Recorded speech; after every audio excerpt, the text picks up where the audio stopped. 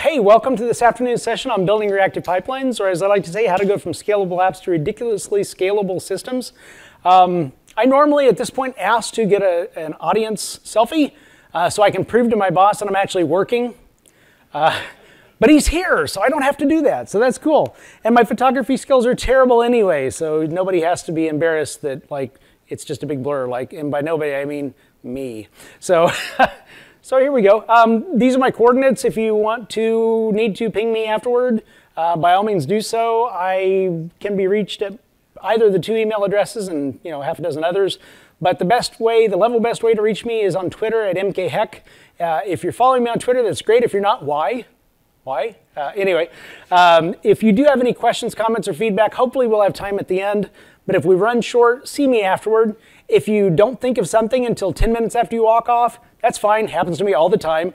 Ping me on Twitter. If you don't want to share with the world what you're thinking, DM me. My, my direct messages are open. So I'm, I'm an open book, and Twitter is the best way to flip the first page, the first virtual page. So with that, um, so whose boss has come to them and said, please do less with more? You did a great job last year. Well done. I'm going to double your budget. Please slow down. No one, right? That never happens. And if it is happening to you, I'd like to speak with you afterward because I'd really like to write up a case study on your, your position in your company. That's, that's awesome. But generally speaking, we're always asked to do more with less, or at the very best, more with the same amount of resources, right? This is universal when it comes to funding. It's universal when it comes to system resources as well. Uh, so why are we here? Well, we'll be discussing a couple of lines of thought, at least, Please notice I did not say threads, but we'll be discussing a, a, couple of lines of thought and weaving them together as we go. Um, I recently, and I mentioned this to, to some folks here, I had given this talk a couple of times before and got good feedback, but I just felt it wasn't as cohesive as I wanted, right? I, I wanted to, to like lead the, the, the, breadcrumb trail all the way through, and I just felt like I was kind of in, having some breakpoints in there. So I refactored it entirely. And I've given it a couple of times since, varying settings and stuff, but this is still very much a new talk. So I would value your feedback again. Ping me on Twitter, DM me, whatever. Uh, just let me know if something I, uh, something you were a little fuzzy on, maybe I skipped over it. Uh, maybe I should focus on that more. I, I would appreciate hearing from you, so please. Uh, I would ask, though, that you'd hold any questions until the end. Uh, because I've got a lot of material I want to get through. And then again, we can do Q&A afterward or out in the hall afterward or later afterward or whatever. Um, but we'll start with there. So this is kind of why we're here. We'll, we'll start off by talking about traditional approaches to scaling systems and where that takes us, you know, what we can do uh, within constraints typically that we're operating in every day. Uh, and then, if we are fortunate enough to have a system that hits the wall, where do we go from there? What, how do we move that wall back, right, and extend those limits a bit? And then once we talk about this to some extent and kind of determine, yep, that makes sense, kind of I can see where this is going, we're going to code it because that way we can see it in action a little better. For me, I'm a very uh, tangible type of person. I like to see it in, you know, running. I like to see it working. So that's kind of where we're going. That's the template for, for the next hour-ish today. Uh, so who am I? A little bit about me. I have authored several blogs and blog posts. I've co-authored a couple of books. I've contributed content and code to several other books, a few of which even actually recognize my contributions. That was nice, right? Uh, the others, well, don't buy those. Uh, um, I also have another book coming out. Uh, well, I, have actually just signed a contract for another book. We'll get to that in a moment. But, uh, but yeah, I, I'm an unreformed writer, I guess. I am an architect and developer, and as you might surmise from the next point where most of my expertise has been won, it's been in the Java ecosystem. Uh, some Groovy, a lot of Java, some Kotlin, right? Uh, I am a Java champion, JavaOne Rockstar, Groundbreaker Ambassador. I've gotten a few other awards and honors that, while I deeply appreciate them, they don't change the fact that I still have to buy my own coffee. I don't know who I need to see about that, but I, have got to find somebody about that because I drink a lot of coffee. Uh, those of you who follow me on Twitter know that. And again, those of you who don't, why? Uh, anyway, uh, I am a professional problem solver. Uh, not my official title, it's just what I do, right? That's what you do. That's why we're all here, right? To learn how to solve problems better.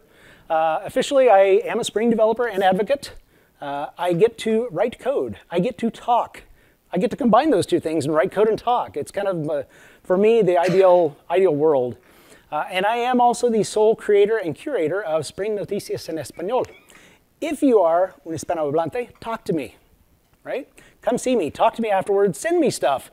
Because about a year ago, I noticed that there was no, Spanish is the second most spoken language in the world, and I didn't see any central place that we could share Spring knowledge and Java and Kotlin and Maven and Gradle and all the good stuff. So I thought, I can, I can do something about that. I can play a small part to help disseminate that knowledge. So if you create materials in Spanish, blog posts, books, videos, whatever, send it to me. Let me amplify your voice and we all get smarter together. If you're not a Spanish speaker, please ignore the last minute and a half that I just said. It's all good.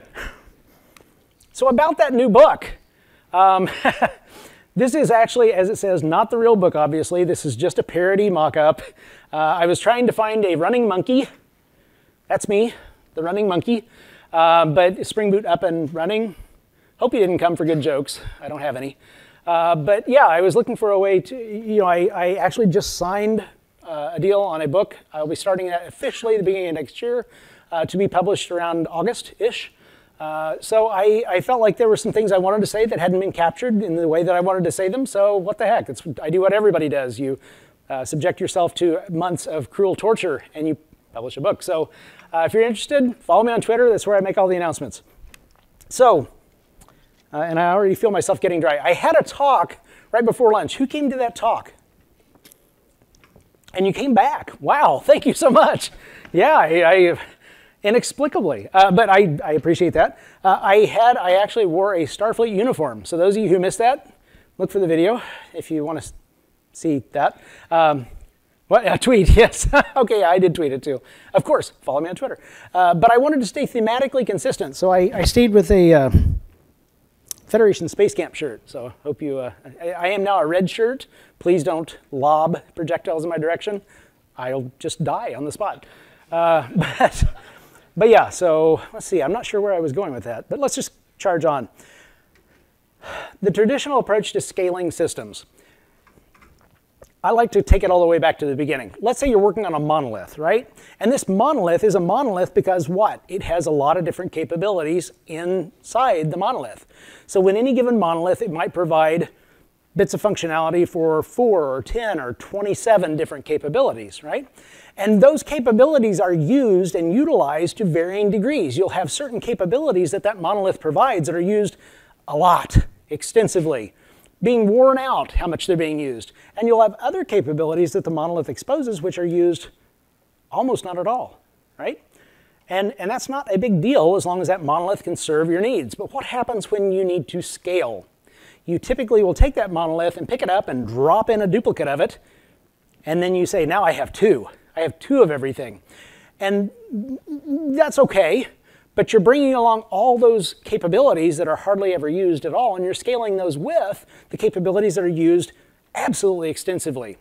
And, and setting aside things like contention, because now you have two things that are trying to uh, save and retrieve data, whereas before you had one, so you have some other you know, issues at, at stake there too. But just the fact that you're dragging along all that extra baggage means it's, you know, it's very obvious it's probably not your optimal way to scale. So when you see that, when you run into that, I have a few notes. I want to make sure I don't blithely skip past all of, of, of a particular thing.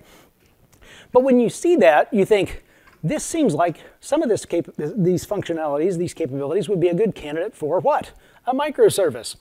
When you take a monolith and you start looking at maybe teasing out microservices, you don't start with the stuff that you don't need to worry about scaling or the stuff that never changes. You tease out the parts that you want to be able to address independently. So if you have a particular bit of functionality that's used a lot, and you tease that out, you can scale that independent of the monolith, which solves some scaling issues. What you often find, though, is that a particular microservice isn't an island, right?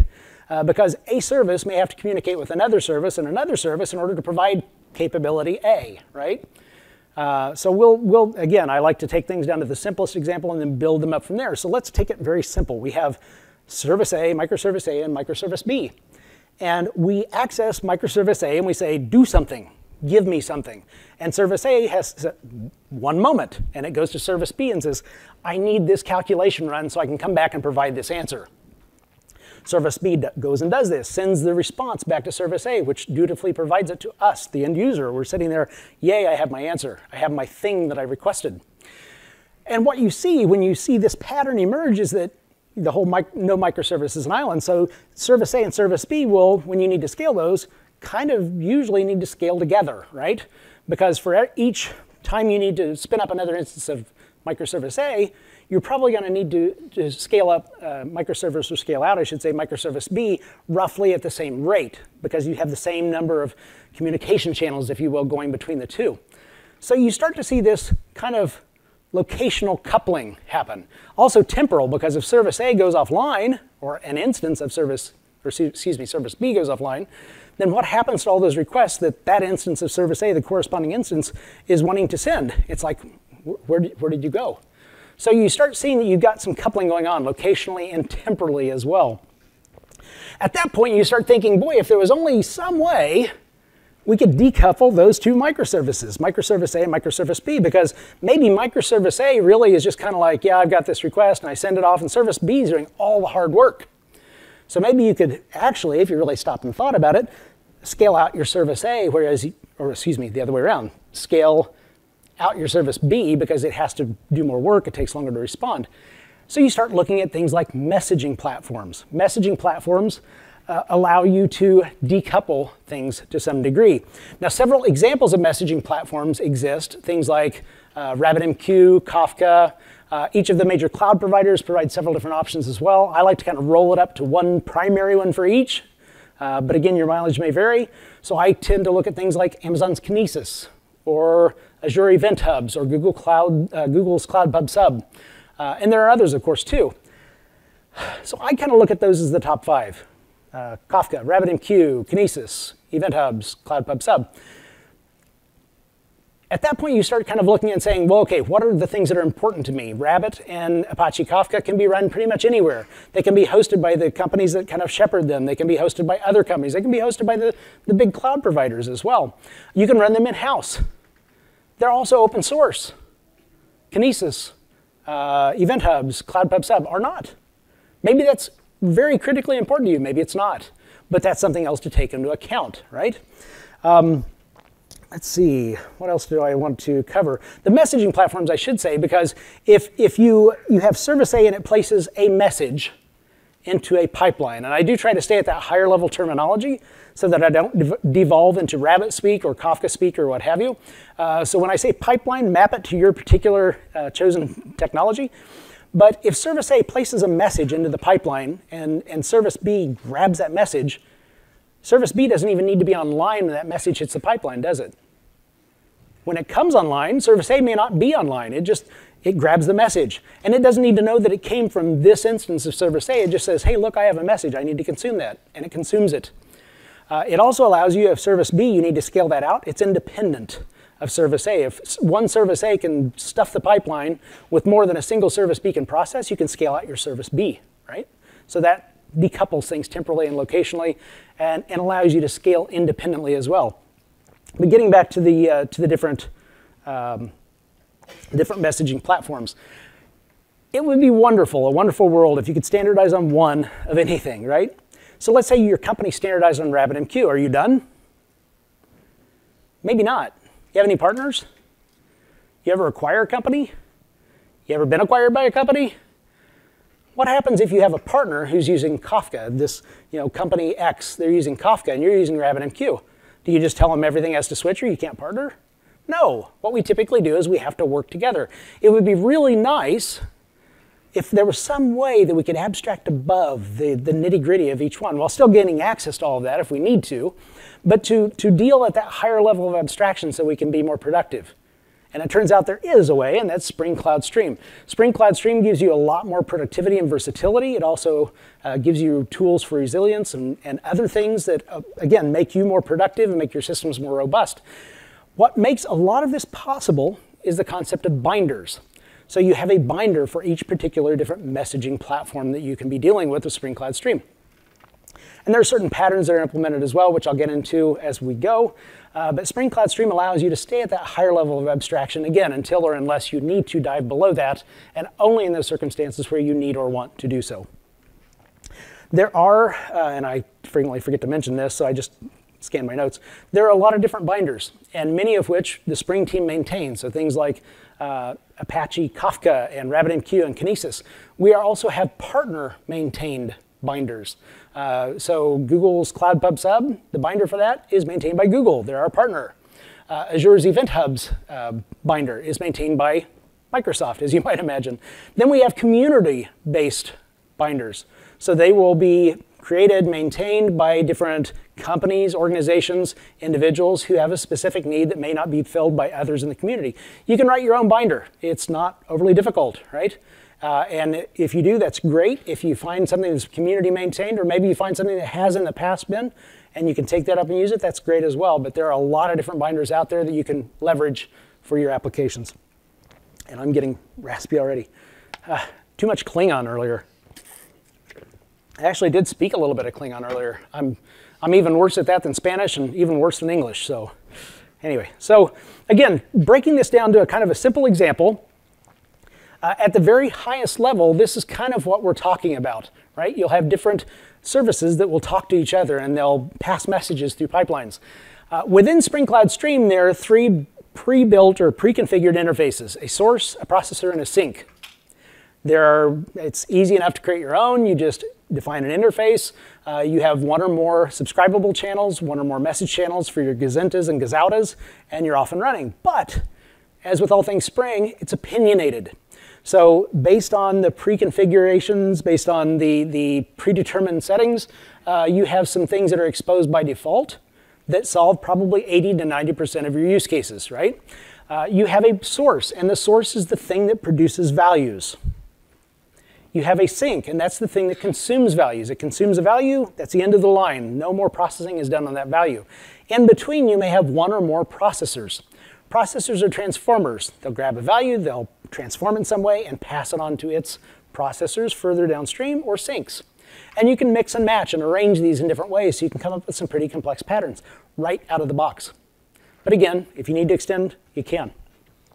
I'm showing this with RabbitMQ because that's what I'm going to be using for my examples. But again, if you like Kafka, Kinesis, whatever, all works the same uh, in terms of the concepts that I'm talking about.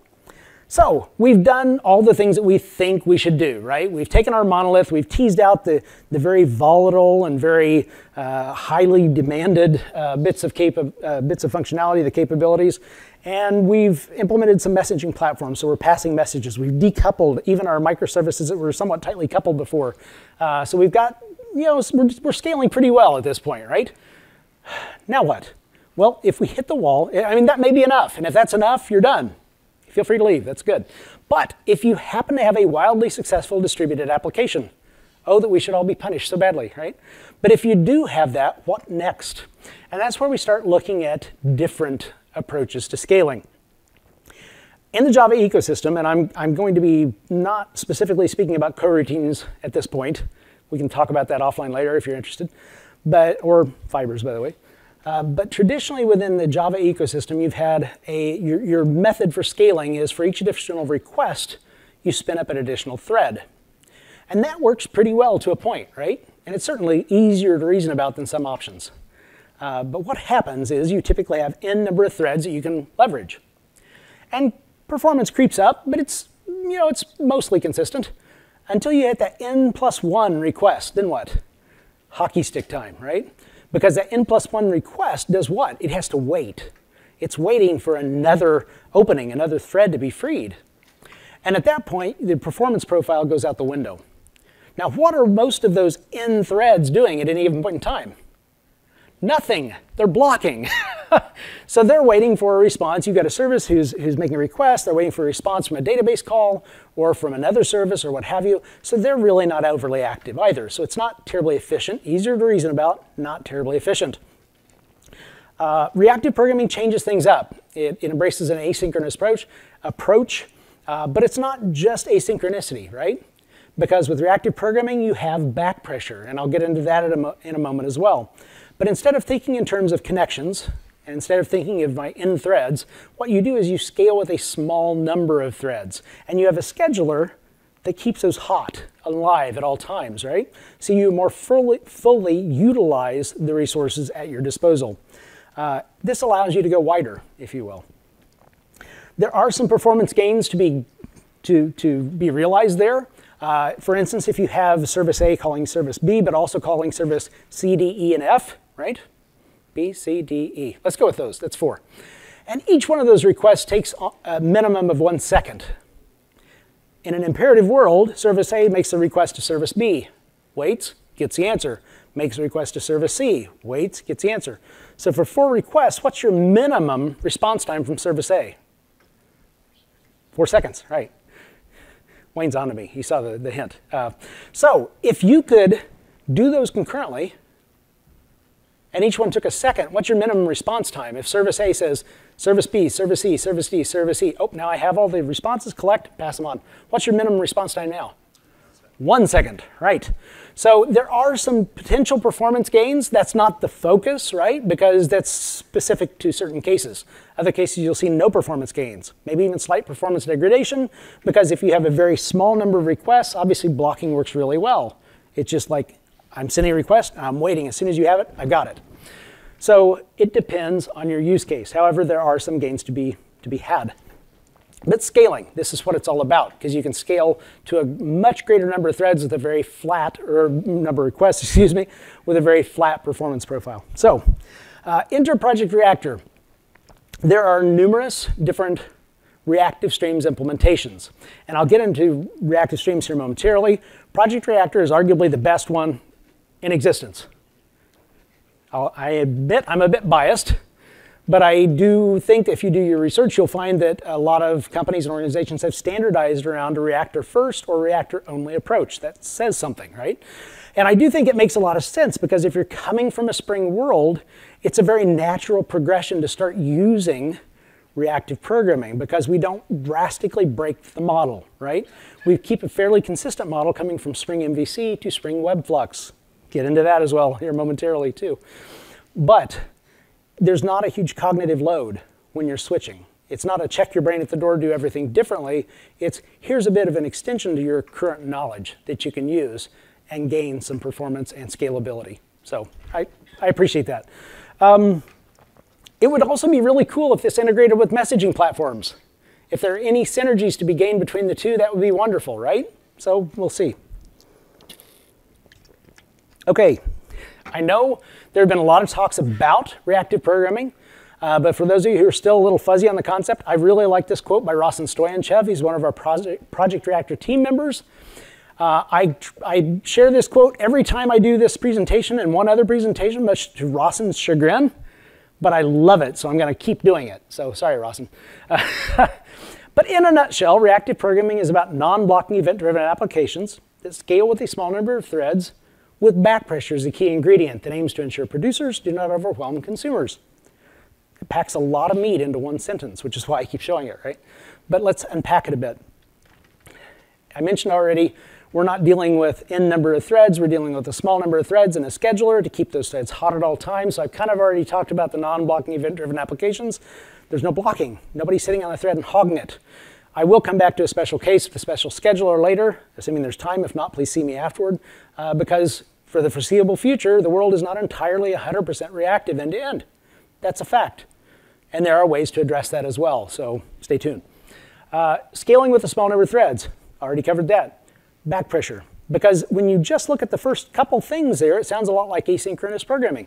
Anyone done asynchronous programming? Yeah, okay, those are the people who have the look of despair in their eyes, right? Sometimes referred to as callback hell if you have your nested callbacks and you get a very complex, just, it's terrible, right? It looks really ugly. Uh, I'm convinced that the person who coined that term was an optimist. Because I think it's actually worse than that. If you've had to do much asynchronous programming, you know what I'm talking about. Uh, but the other thing, uh, if, if you're just talking about a, a asynchronous programming type of approach, uh, you don't always have a declarative approach, right? I guess that's where I'm going with, uh, with that. But you also have, besides the lack of readability, you also have no way for a slower consumer to say, look, you're, you're killing me. You're, you're giving me way more than I can handle. Because if you have a consumer that can only process 10 values per second, and you have a producer who's producing 1,000 values per second, what happens to that poor, slow consumer? it just falls over and dies, right? We lose more good, consumers that way. Um, but with back pressure, what it allows you to do, your consumer can say, look, I can only handle 10, give me 10. And when I'm done processing those 10, I'll request 10 more. So it allows you to keep that slower consumer alive. Now, it doesn't change the fact you have a very fast producer producing 1,000 values per second, but what it does do is shift the control from a, an iPhone client two countries over to your cloud service that you actually have some control over. Now, that means that you, for the other 990 values, what do you do? You have that control. You can define, do I want to buffer those? Do I want to sample those? Do I want to discard those? If we're talking about, for instance, like a, a dashboard, we don't care what happened three minutes or three hours or three days ago. We care about the system status now. So maybe you just drop them. You just eliminate them. But that is back in your hands with the proper reactive programming approach. So uh, let's see. Let's dive on in. All this is based on the Reactive Streams initiative. Uh, in the bad old days, everybody just came up with their own solutions, completely incompatible. And then who was stuck in the middle? We were, right? Trying to implement stuff, make this talk to that. It was very, those were very dark times. Uh, but now, of course, we actually get along a little bit better. I think everybody tries to cooperate in the industry better. That's a good thing, right?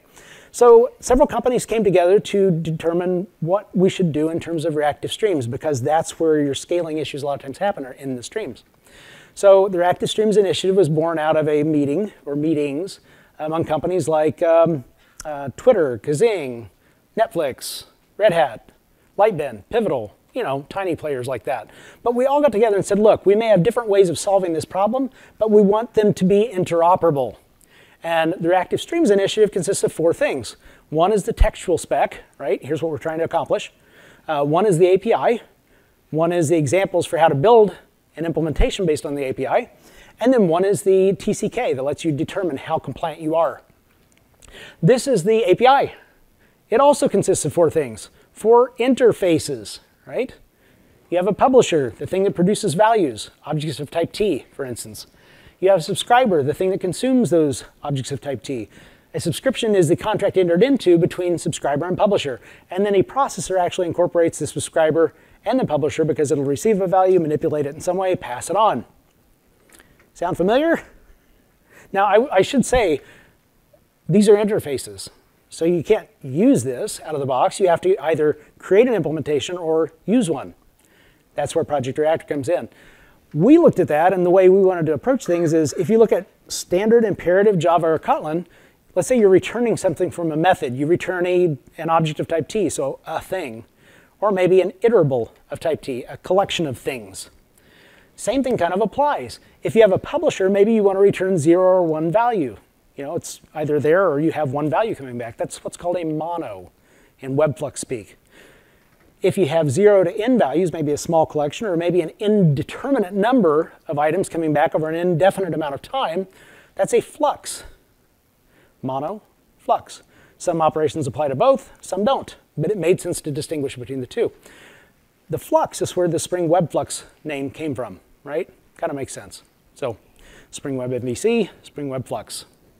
So, all right. This is what I think is really cool. Boy, that blue does not show up on there well at all. There's a great amount of parallel here, right? Because we're still talking about streams and values coming in, values going out, values being transformed. So a, in Spring Cloud Stream parlance, a source roughly correlates with a publisher.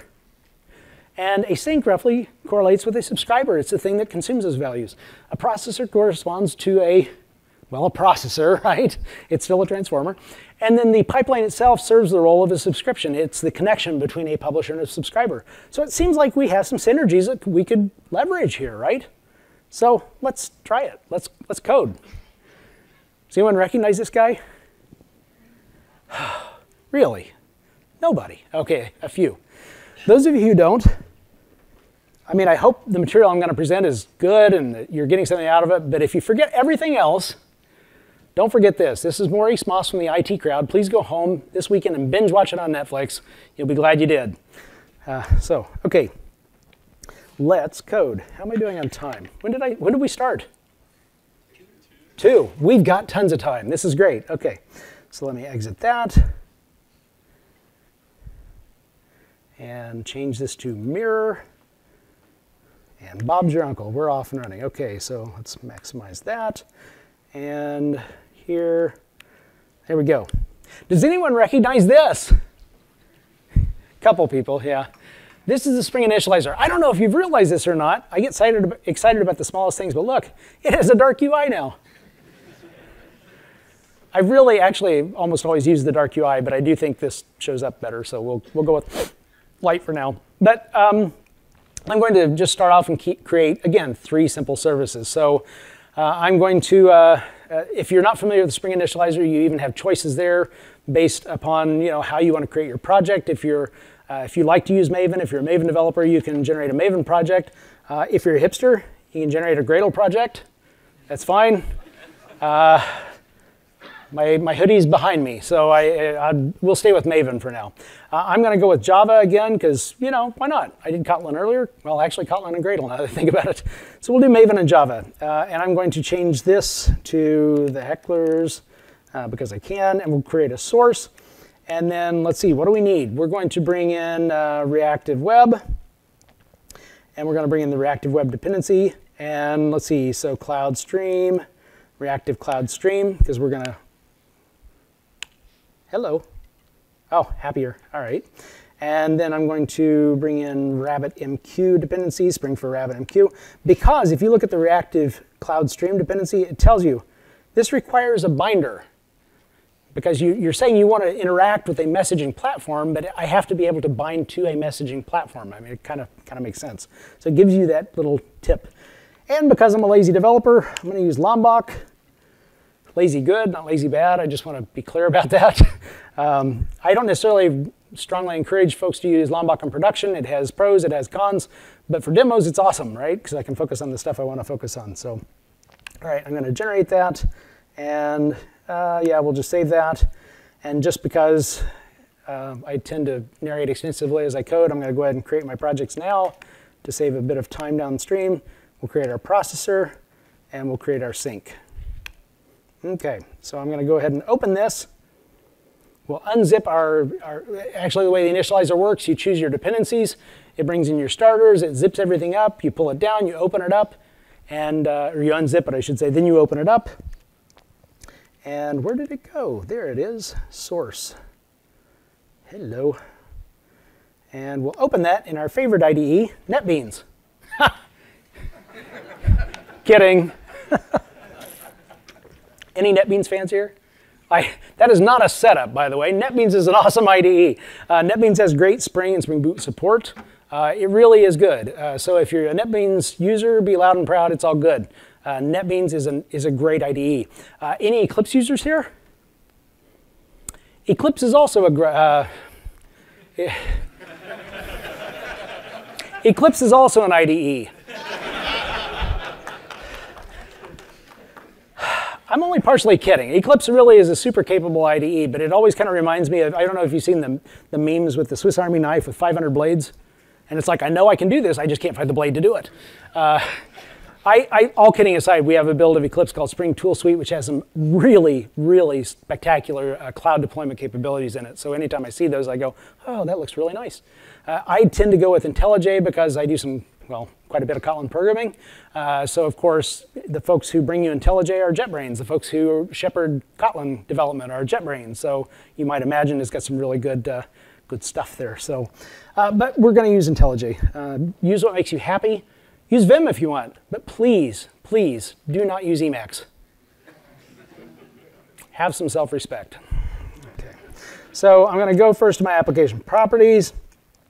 And let's see, server.port. Can you read that in the back? Let's, uh, I, I, I, do this with some trepidation. Font, and let's go down here. I've already changed to high contrast because that pops a little bit better. But we're going to take this up to high contrast and biggest. Oh, that's much better. And then we'll close that out. Nice. Okay, so just to start off, our application.properties uh, allows us to set some sensible defaults for application. Uh, you can, of course, externalize those in your environment, as you probably would in many cases in your production environment. But again, for today, we're just going to do this and get things up and running very quickly. So I'm going to set the server port equal to zero because for a Spring Boot application, uh, upon initialization, it says, oh, Spring, the start server port, talking faster than I can think. The server port setting it equal to zero just means find a random port and start up on that. So I don't have to worry about port conflicts for my, my applications here today. So I'm also going to set my Spring Cloud Stream bindings. Now this is my source, and a source has one predefined channel, which is output, right? The source is the thing that produces values and sends them, it frees them.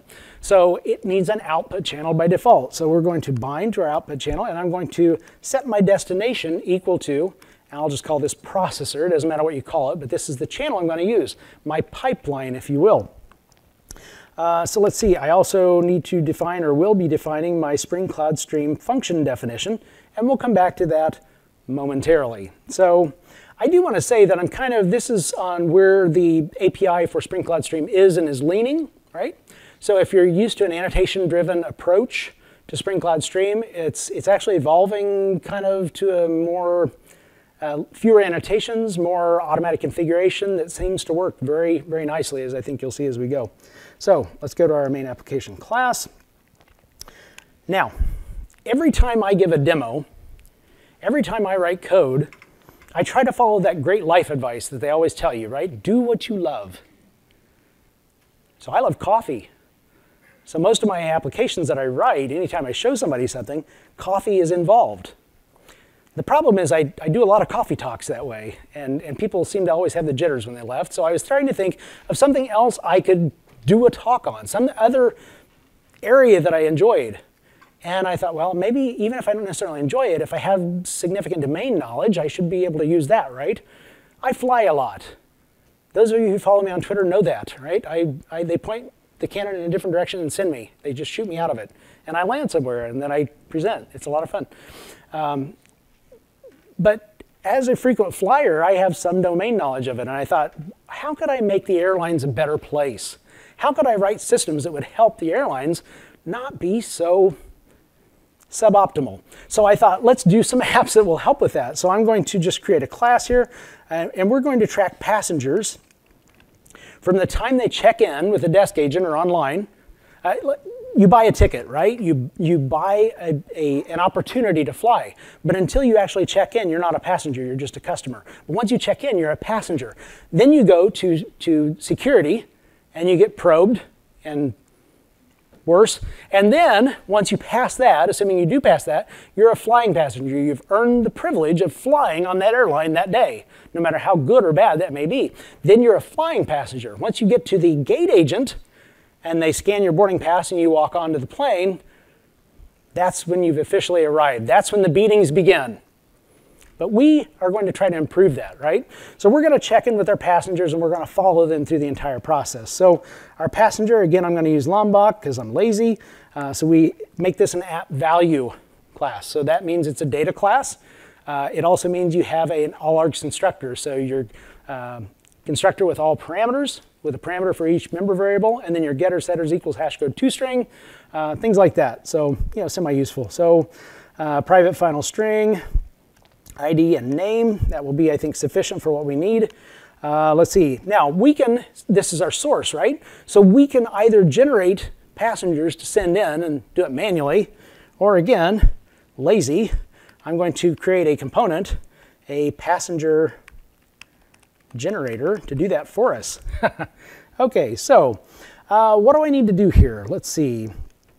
I will want to create a uh, list of string. I'm still in my, my Klingon Kotlin mode here, so I'm having to kind of back up and make sure I don't go down the wrong path here. So we've got a list of string. We'll call these names equals. Uh, so we have arrays, arrays dot as list. So we need some names. Well, Artem showed up and he's in the front row, so sorry, sorry, buddy. You're in there. Okay. Um, let's see. What's your name, sir? Uh, I see. I knew your name. You were reading it to me, and I still misspelled it. Oh, this is just. It, has been a long month this week. Uh, great week though. All right. So let's see. Um, ma'am, what's your name?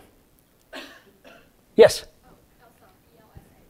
Oh, Elsa, thank you so much for making this easy for me to spell. My name is Mark. I always feel like when somebody gives me a hard name to spell and then I, they, say, what's yours? Mark.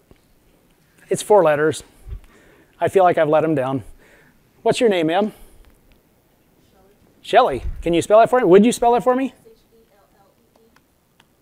S H E L L E? Two E's. All right, excellent. Uh, let's see, You, sir, in the red shirt. Yes, what's your name? Okay, I'm trying to remember. Galron, like that? Yeah, yeah, I, I just, it's spelling. Spelling's hard. Okay. Uh, so we've got almost enough, but uh, I'm going to stick me in there because I don't like to use anybody else as a bad example. You know, if, if I pick on me and, and you see how things go south really badly with me because I'm going to try to keep it real, uh, I don't want anybody else. I don't, I don't want Elsa to be stuck in an overhead bin. So we'll, we'll go with that. Not that that's ever happened. So, uh, whoops, let's see. And yeah, that's fine. Uh, private. Uh, and then random, R&D equals new random. So we'll get some randomness in here. Now to generate our passengers, uh, let's see. So what I want to do is passenger uh, generate uh, return. Uh, so new passenger, and we'll use uid.random.toString to give us our ID, and we'll take our names and we'll do a get. We use random, oops, typing counts. Uh, nextInt, we'll use the length of our names, the size, and there we go. So we have our passenger generator here. So that's not terrible. Now we need to get these values that we're going to generate into our pipeline, right? So at least for the time being, we're going to enable binding to our source. Do, do, do. Source messaging. There we go, source class. And this will be our desk agent. That's where it all kicks off and gets real. So uh, let's see, I need to private final uh, source. I'm going to inject my source, and I'm also going to inject my uh, final passenger generator, and we'll call this generator. Now, I can do field injection, but that's evil. If you haven't read Ollie Drotbohm's excellent article on that, appropriately titled Field Injection is Evil, please do so. It's really a great work.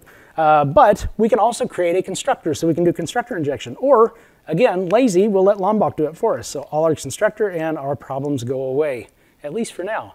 So now, uh, let's see, we need to create a bean, not a bean, a, whew, typing's going downhill fast. For those of you who were not in my first session, you do know, or you will know, that I count on the front row to catch my typos before I hit build. I bet you're rethinking your seating choices now, aren't you? okay, okay, so we're going to create a bean. And this bean should implement what? This seems a lot, you know, this is the source. We're going to push values into our pipeline. This seems a lot like a supplier, right? Oh, I must have hit caps lock. There we go. So it seems a lot like a supplier, so we could supply passengers. We can also, if we really want to go meta, we can supply a flux of passengers because that way we're dealing with a stream of passengers, not just a passengers as we continue to progress. So we're going to create a supplier to supply flux of passengers. We'll call this uh, check-in. And let's see, return uh, source dot output dot send. Am I doing this right? Am I just having a moment? No, I'm not doing this right. Um, yeah, so I'm, again, yes, I am. so a supplier is what? A supplier is a functional interface with a single abstract method. And since Java 8, what can you do when you have a functional interface with a single abstract method?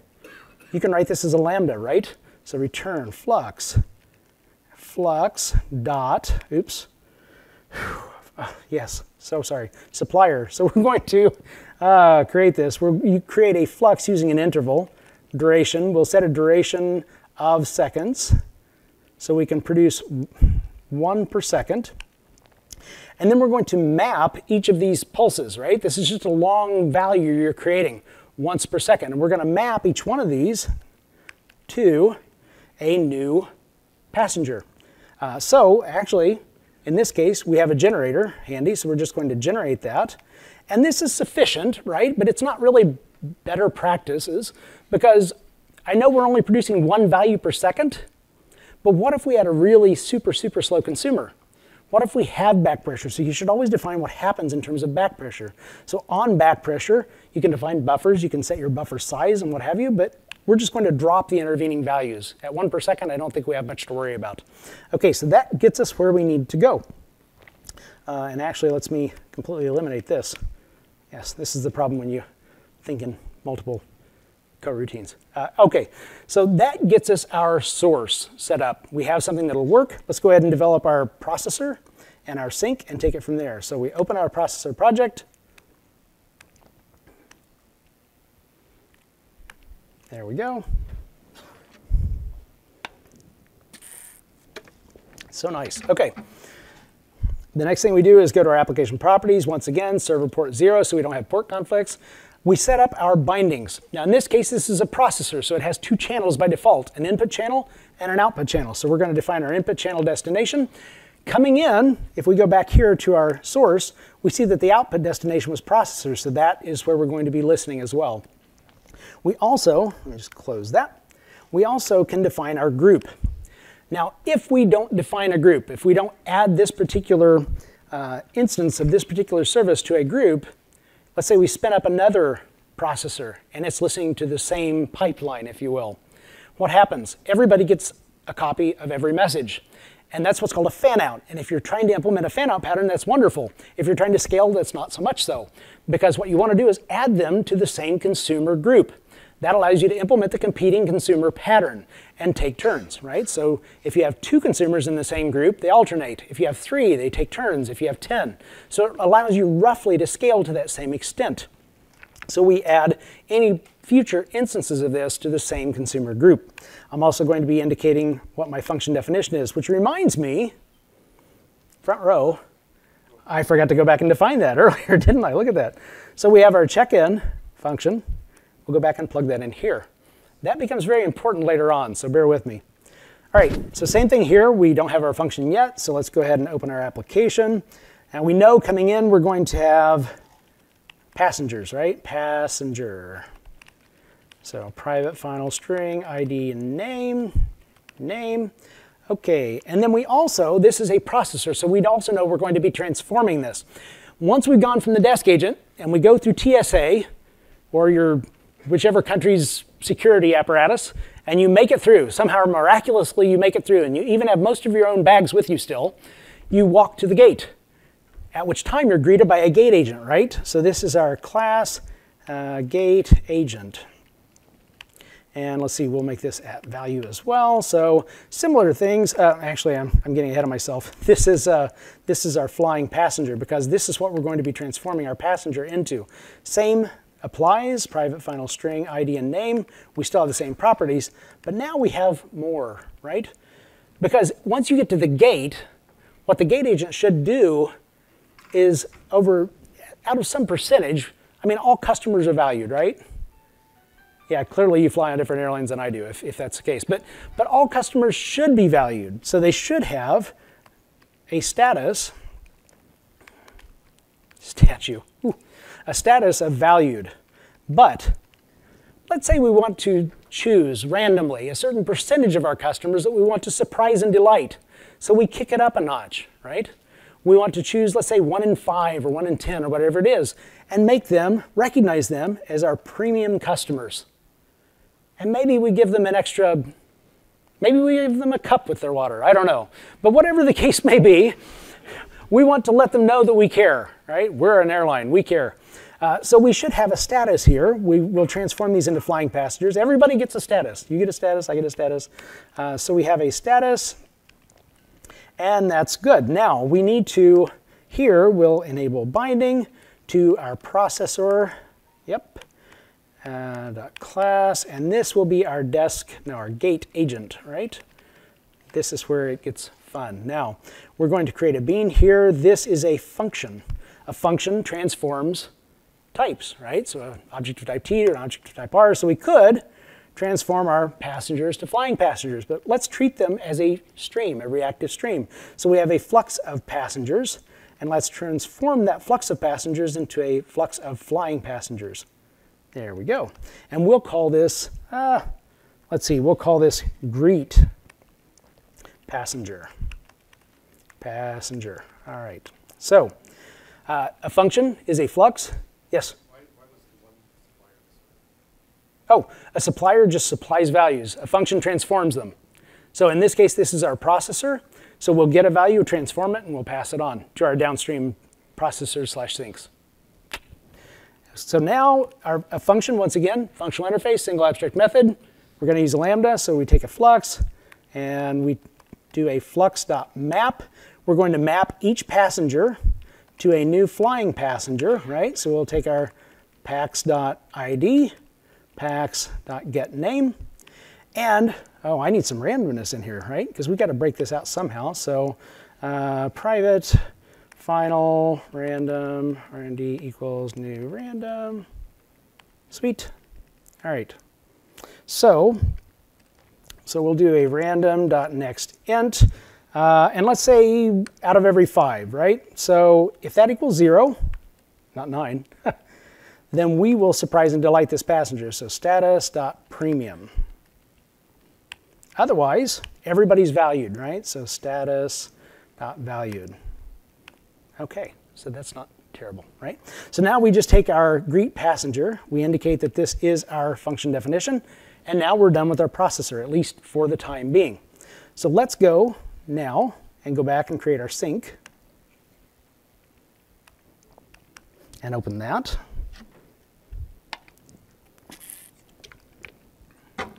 All right, so once again, application properties, server port zero.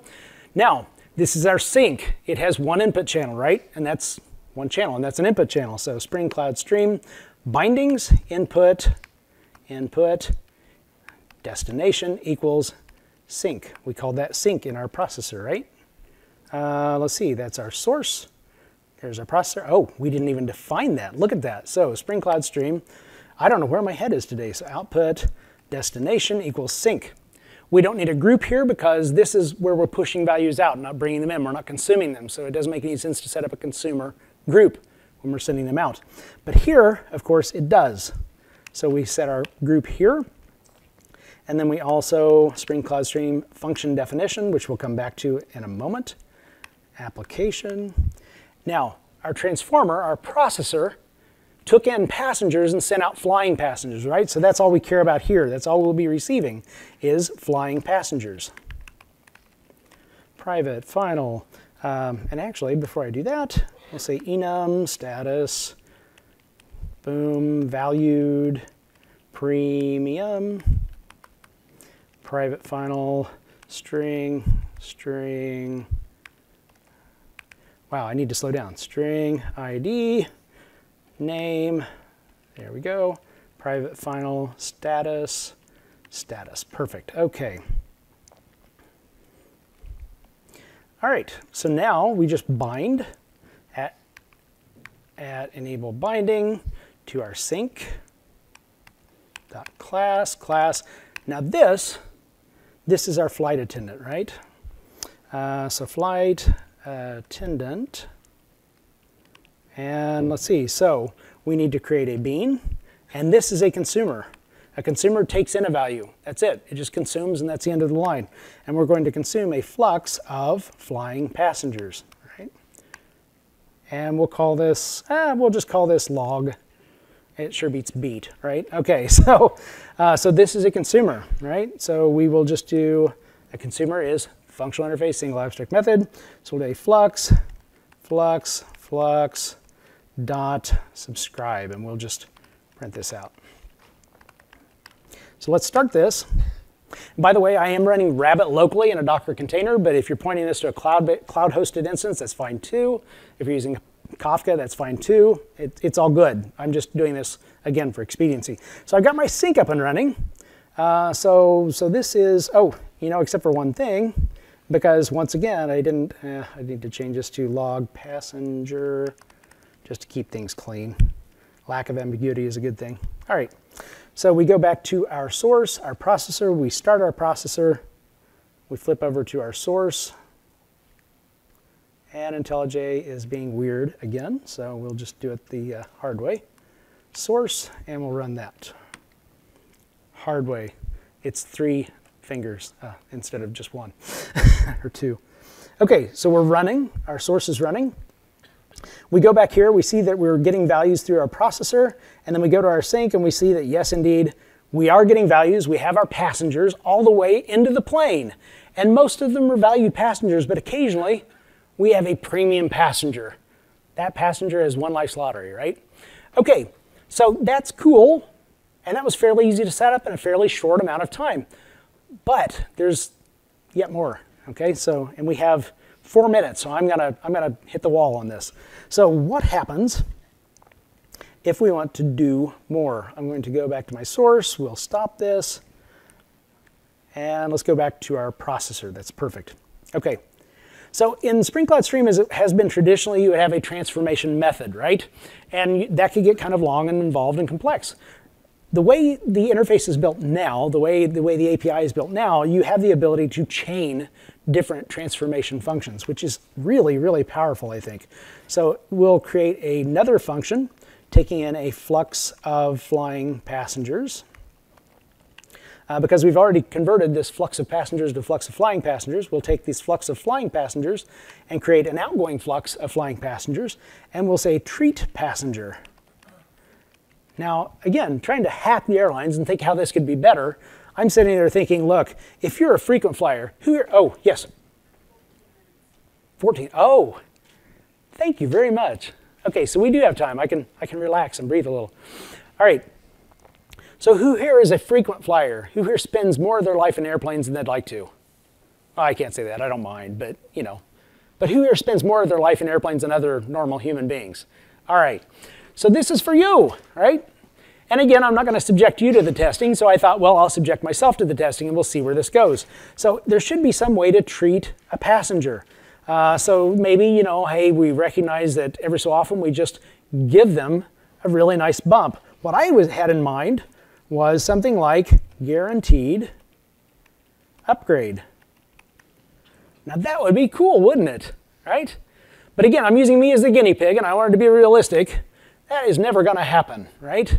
It will look something more like this. Enhanced, enhanced screening, seat by toilets. I'm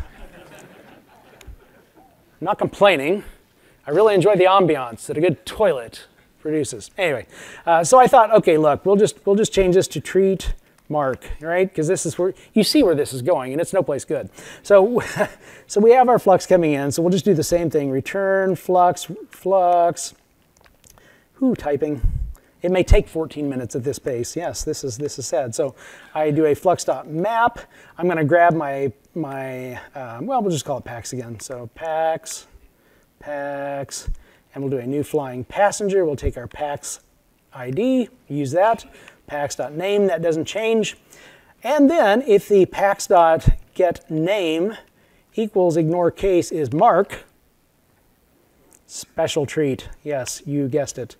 So that would be a uh, enhanced, enhanced screening seat by toilets uh, situation there. Otherwise, we'll just use the same uh, incoming uh, status, right? So actually that would be pax.get status. Perfect. So nobody else has to suffer while we work out the kinks, and probably ever. Okay, so we're going to take this treat mark. We're going to chain this. Now, I think this is cool just by itself, right? That's, I mean, it's really neat the things you can do to, to kind of build these complex transitions. It kind of looks a lot like a Linux pipe, right? The neat thing is this is dynamic too because you can externalize this to your environment. So you can change this out and if you have multiple services, you can restart, pick up the new environment, and all of a sudden you are processing differently without any change to your code. It's kind of sweet. So let's go ahead and restart this and we'll see how this turns out. And actually, I should go over to my sink now. Um, let's see here. So boom. And did I copy that in? Nope, I did not. So just to make sure I get uh, the right, and now it's not going to let me go back to my, fine, we'll do this again the hard way. So, there we go. Come on, IntelliJ. Eclipse isn't sounding so bad now, right? Okay, so there we go. We'll restart our sink. And then we'll go back to our source, and off we go. And that's our processor. We'll go back to our sink. So look at that. There I am, right by the toilets. That's where you can always find me. If you see me there, come back and say hi. All right. So that's just kind of a little look Yes, we're good. That's kind of a little look forward because that's the API as it's developing. Uh, there are more changes coming, but I think the composability is super, right? Uh, you also have the ability to treat uh, and to, to interact with a reactive stream of values versus just a value at a time, right? So that's valuable. Um, there are some limitations at this point in time. Again, happy to talk about those as we go too. Uh, but certainly the groundwork is being laid, the components are falling into place. So that gives you yet another tool in your, your tool belt to deal with more scaling, uh, give you more options for scaling. So with that, let me go back here and we'll stop the source just so I don't let that sit and run and stick me back by the toilet anymore. And we'll go back to our presentation and we'll wrap that up.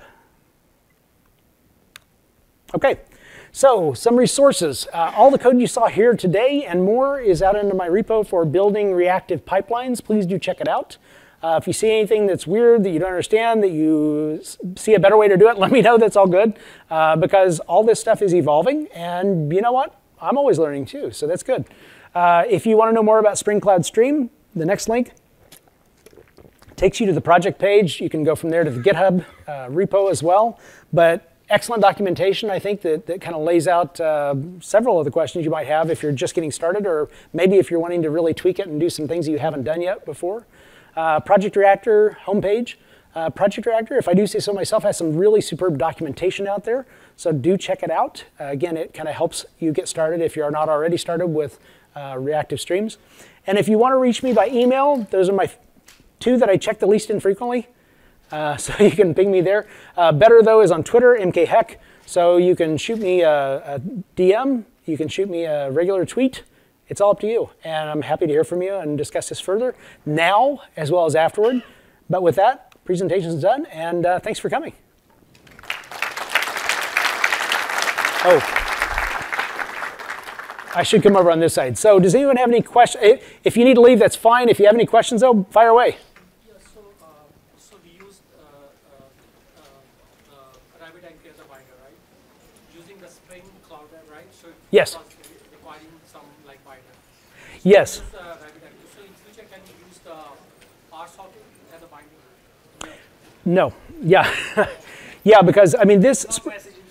Right, yeah. This, this Spring Cloud Stream is built on Spring integration, but it specializes the focus to specifically messaging platforms or messaging options. So if you're talking about, um, I hate to say HTTP based because RSocket isn't just HTTP based, but uh, it's, it's talking about messaging platforms specifically. Uh, so socket is a different animal, but yeah, I mean, you would, you would, you would be dealing with uh, reactive streams uh, with publishers across that, but different part of that pipeline potentially. Great question, though. Yeah. Yes. Can can what run in parallel?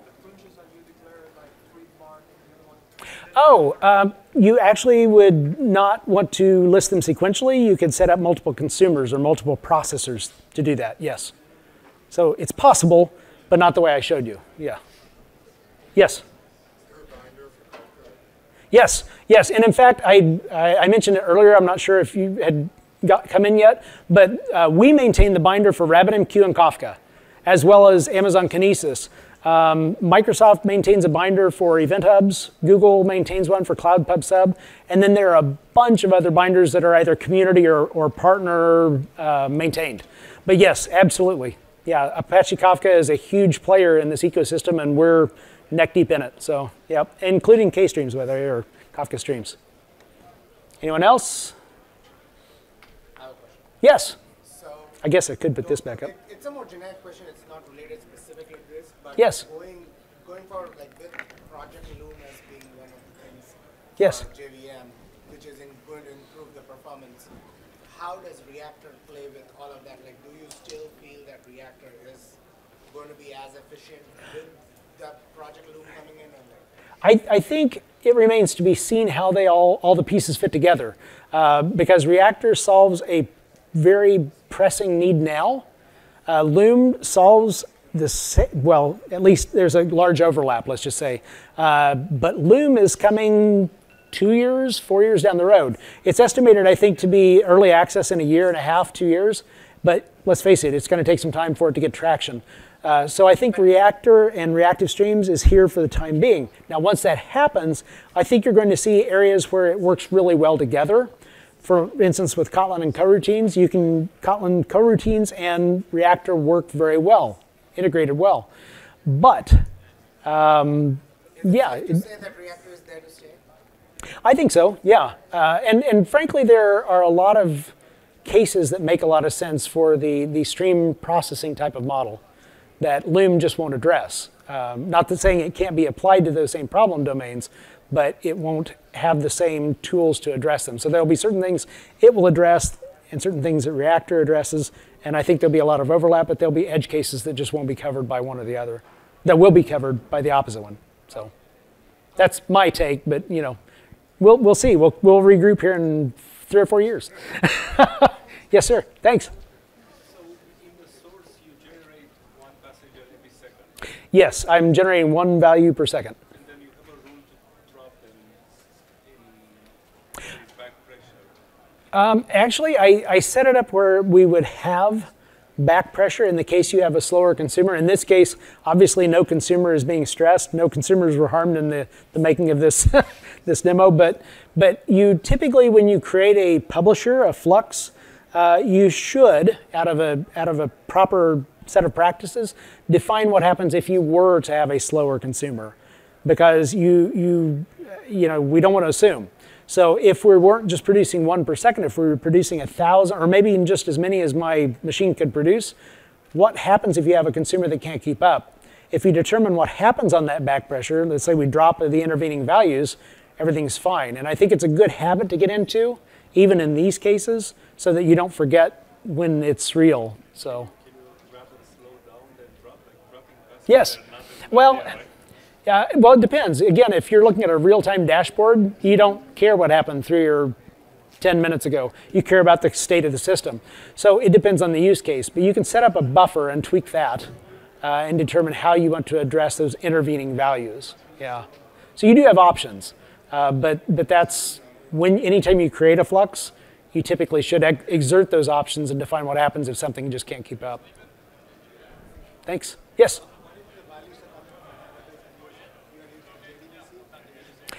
Ah, yes.